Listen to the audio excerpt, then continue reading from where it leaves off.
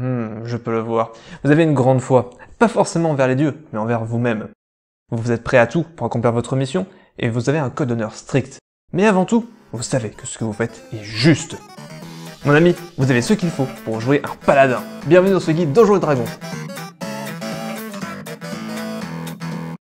Ah, le paladin, une icône du guerrier divin qui défend ses adversaires avec ses frappes élémentaires. Le paladin est ce qu'on appelle un demi-caster. Il est un peu comme le ranger, c'est-à-dire qu'il est entre le guerrier et le prêtre. Mais contrairement au ranger, le paladin peut absolument embrasser son rôle de DPS avec des frappes qui font énormément de dégâts. Le paladin n'est pas aussi versatile que le prêtre parce que c'est une classe construite pour le corps à corps, mais vous avez tout de même des options support et utilitaires. Cependant, n'oubliez pas que vous êtes la personne en première ligne de combat parce que la plupart de vos sorts offensifs ne fonctionnent qu'au corps à corps. Le paladin utilise le D10 pour déterminer ses points de vie, ce qui renforce encore plus son rôle de tank, sans parler du fait que vous pouvez utiliser toutes les armures et manipuler toutes les armes. Vous ajoutez votre bonus de maîtrise dans deux compétences parmi celles-ci, ainsi que dans les de sauvegarde de sagesse et de charisme.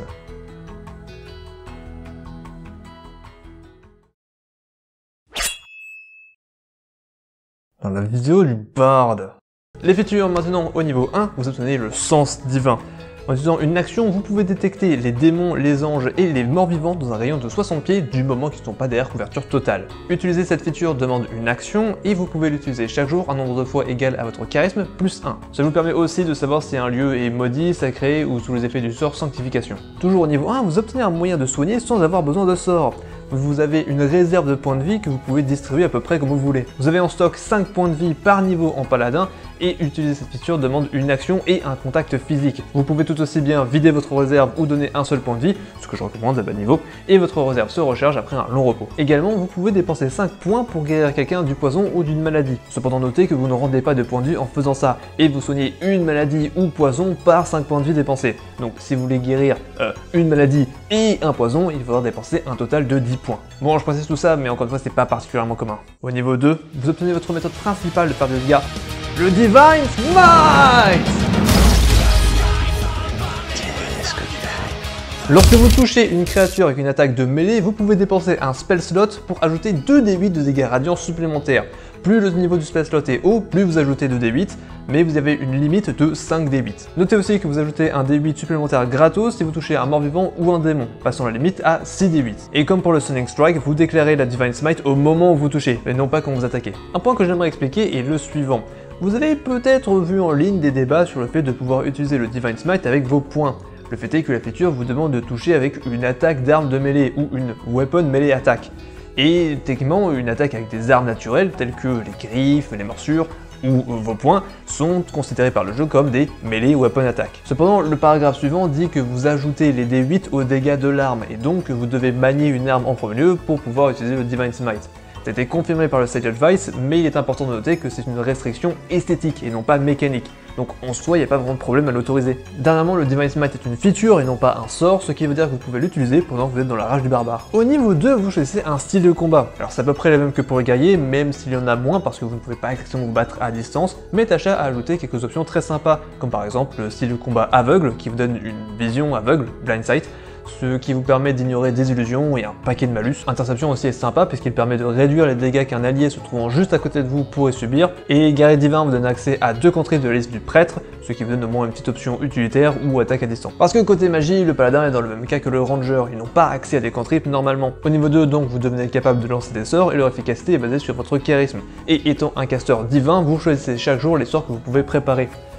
Le nombre de sorts que vous pouvez préparer est égal à votre niveau divisé par 2 plus votre charisme. Ce qui paraît pas énorme, mais votre sous-classe vous donne accès à quelques sorts en plus. En parlant de sous-classe, au niveau 3, vous devez immuniser aux maladies alors c'est pas une blague, tous les paladins à ce niveau deviennent immunisés aux maladies. Mais évidemment, votre vraie feature au niveau 3, c'est votre serment sacré. Similaire au prêtre, vous obtenez des sorts supplémentaires et deux manières d'utiliser votre canalisation divin. Mais un détail important ici est le roleplay. Tout comme le druide ne peut pas porter de métal pour des raisons que j'ai mentionnées dans la vidéo dédiée à la classe, vous devriez confirmer avec votre MJ si vous voulez jouer avec ce qu'apporte le serment. Chaque sous-classe et donc chaque serment vient avec des préceptes que vous devez suivre du mieux possible. Si vous venez à briser un précepte euh, par accident ou parce qu'une situation était difficile, c'est pas trop grave. Une de prière et l'absolution d'un prêtre, et c'est bon, ça suffit. Par contre, si vous brisez régulièrement vos préceptes et que vous ne montrez aucun signe de regret, vous risquez de devoir changer de sous-classe, vous pouvez perdre la sous-classe, ou alors vous pouvez carrément perdre la classe. Donc c'est quelque chose que vous devriez discuter avec votre MJ avant. Aussi avec Tasha, vous avez une troisième manière d'utiliser la canalisation du divin, manipuler le pouvoir divin qui fonctionne exactement comme pour le prêtre, juste avec des level cap différents. Au niveau 5, vous pouvez attaquer deux fois par action, normal, mais surtout au niveau 6, vous obtenez l'aura de protection.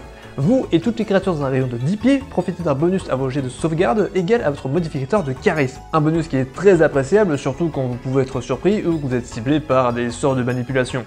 Donc vous et tous vos potes peuvent en profiter. Et cette aura est un peu votre deuxième feature principale, car en plus d'apporter différents bonus au fil des niveaux, elle change en fonction de votre sous-classe, faisant de vous un îlot de sécurité au milieu du chaos du combat. Aussi, juste entre nous, les différents bonus sont considérés comme étant différentes auras, mais elles ont toutes la même portée, donc on soit considérer ça comme étant une seule aura qui donne plein de bonus différents. Enfin, sauf euh, l'aura du paladin de la gloire, bizarrement. Ah, et petit détail, ne pas oublier, vous n'émettez cette aura que si vous êtes conscient. Au niveau 10, vous et les personnes dans votre aura sont immunisés à la peur. Cependant, notez que l'aura suspend les effets de la peur, mais ne supprime pas. Vous devez toujours faire des jets à la fin de vos tours pour vous débarrasser de l'effet de manière permanente. Au niveau 11, vos attaques sont améliorées. À chaque fois que vous touchez avec une arme de mêlée, vous ajoutez un 8 de dégâts radiants supplémentaires. Cependant, malgré le nom de la feature, châtiment divin amélioré, celle-ci n'a aucune interaction avec le châtiment divin, donc ne compte pas dans le maximum de D8 que vous pouvez lancer. Au niveau 14, votre simple contact permet de purifier les âmes. En utilisant une action, vous pouvez mettre fin à un sort qui affecte quelqu'un, aussi bien un allié que vous-même. Vous pouvez utiliser cette feature un nombre de fois égal à votre modificateur de charisme et regagner toutes les utilisations après avoir fini un long repos. Et finalement, au niveau 18, la portée de votre aura augmente pour couvrir 30 pieds. Vous choisissez votre sous-classe au niveau 3 pour avoir des features au niveau 3, 7, 15 et 20 C'est tard et comme toutes les classes, vous obtenez au niveau 4, 8, 12, 16 et 19 une amélioration de capacité ou un fit.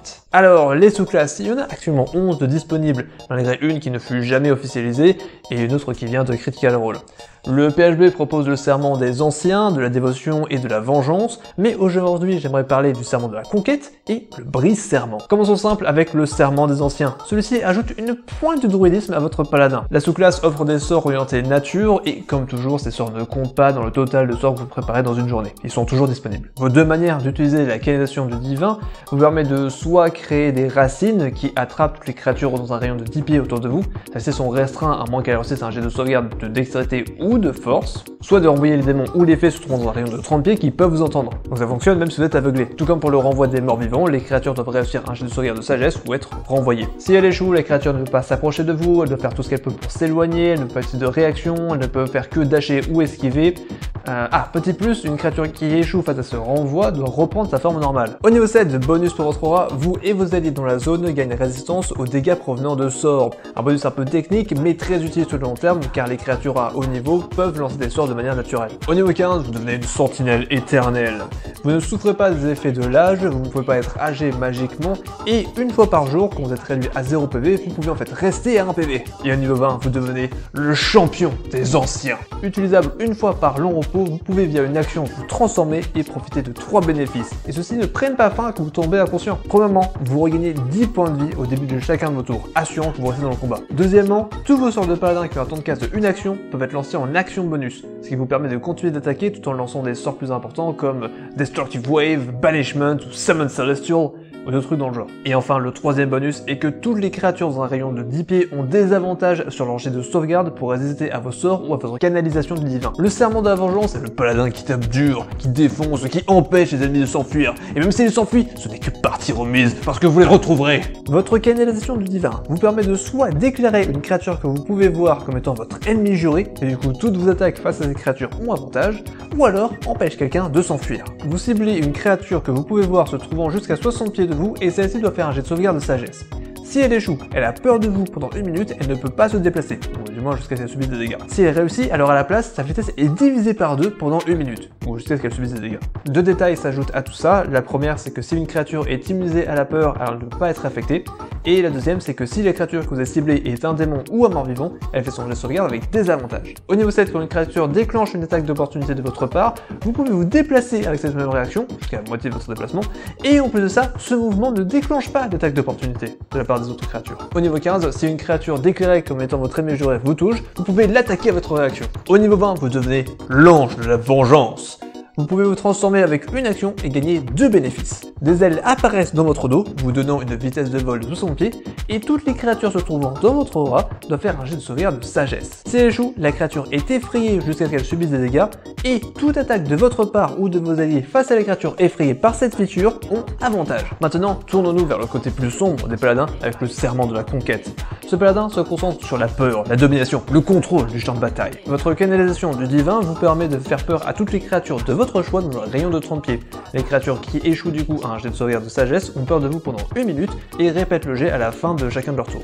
Donc ici, l'effet ne disparaît pas quand les dégâts sont infligés. Lorsque vous faites un jet d'attaque, vous pouvez utiliser votre canalisation divin pour vous donner un plus 10 pour toucher. Vous pouvez ajouter ce bonus après avoir vu le dé, mais avant que le MJ ne détermine le résultat. Au niveau 7, votre aura affecte vos adversaires. Si une créature effrayée de vous se trouve dans votre aura, sa vitesse est réduite à 0 et elle subit des dégâts psychiques au début de son tour égal à la moitié de votre niveau en paladin.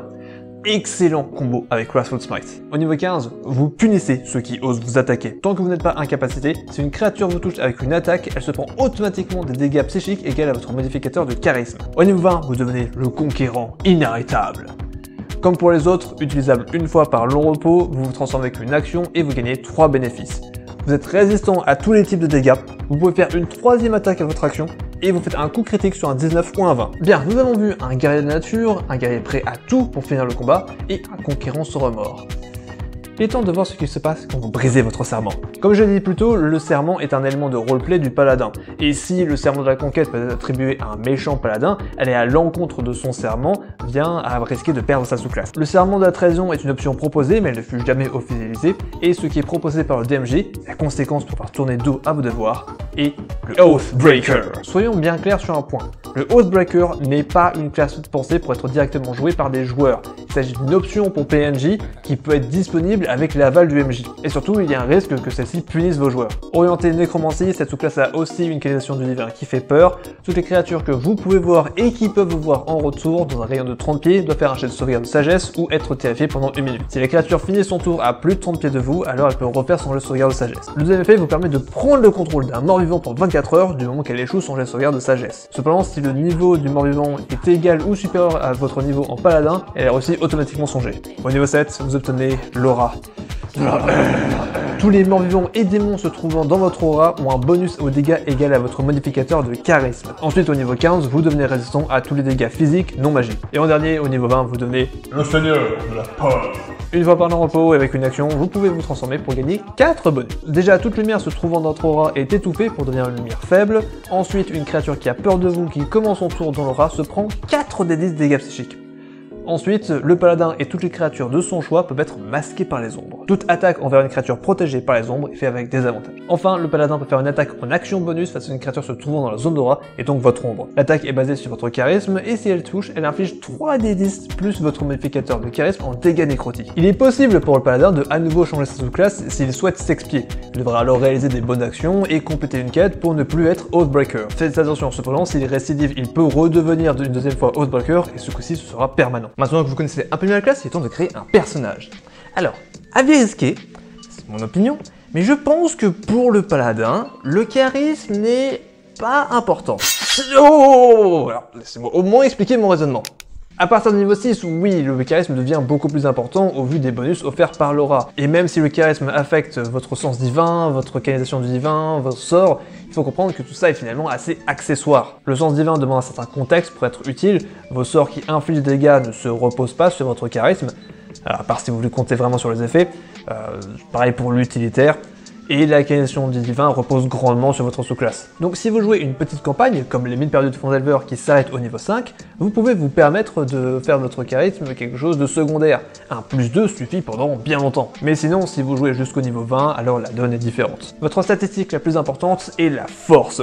L'accès aux armures lourdes, les armes martiales, le fait que le smite ne fonctionne qu'avec des attaques de mêlée encourage l'utilisation de la force. Ensuite, le charisme ou la constitution sont les plus importantes, à vous de voir ce que vous voulez privilégier selon votre campagne. Ici, les classes recommandées sont assez variées parce qu'un boost en force, concession et charisme sont tous très utiles.